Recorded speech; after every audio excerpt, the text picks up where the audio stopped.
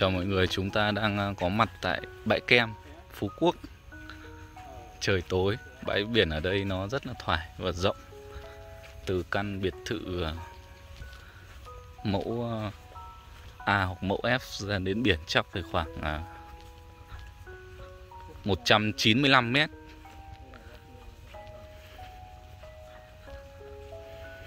Một cái bãi biển cực kỳ thoải. Và đây nó hợp với gia đình trẻ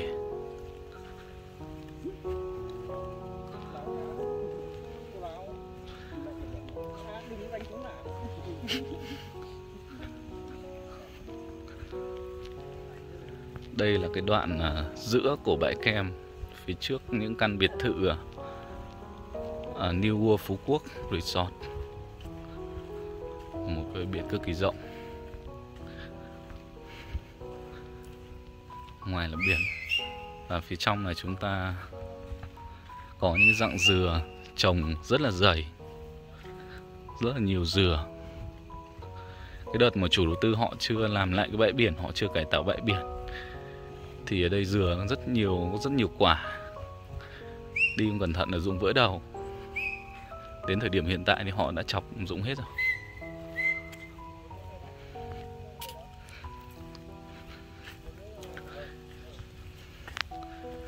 Đây là phía trước của khu ờ, bể bơi.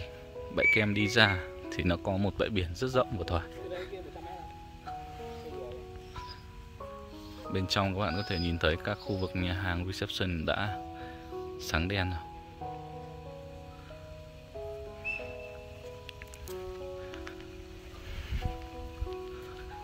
Bãi kem là một trong những cái bãi biển rất là thoải và tắm ở đây cực kỳ an toàn một bãi biển rất rộng. Ở đây thì hiện tại nó còn một cái à, nhà hàng uh, theo phong cách uh, bình dân thôi. Ngoài này là bãi kem. Bên kia là khu JW Marriott Phú Quốc. Khu biệt thự mũi Ấn Độ sáng đèn. Một bãi biển cực kỳ thoải như các bạn nhìn nó rất là rộng nó phải khoảng hơn 200 mét nhưng nãy là mình nói vui là 195 mét nhưng thực ra nó phải hơn 200 mét tính từ cái căn biệt thự à, gần biển nhất cho đến ra đến cái mép nước. Nó khá là xa. Ngày trước thì à, biệt thự bãi kem này thì à, những cái căn mà view biển những căn mẫu D ở phía trong ấy thì view được biển nhưng bây giờ mình nghĩ chỉ có view kiểu lấp ló thôi. Tại vì thứ nhất là rất nhiều dừa thứ hai là cái khoảng cách từ những căn biệt thự mẫu B ra biển thì nó khá là xa.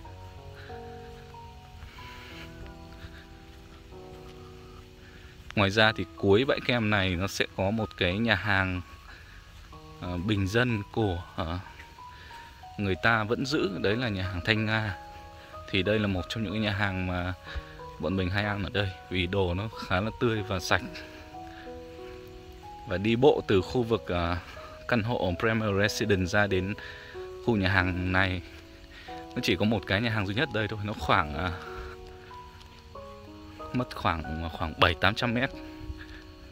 Đi bộ đi bộ nó mất khoảng 15 phút. Đó, rất là tối rồi.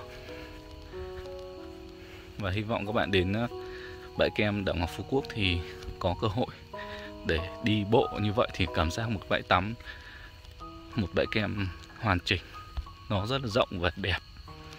Đẹp hơn những cái hình ảnh chúng ta nhìn thực tế à, nhìn trong uh, phim ảnh.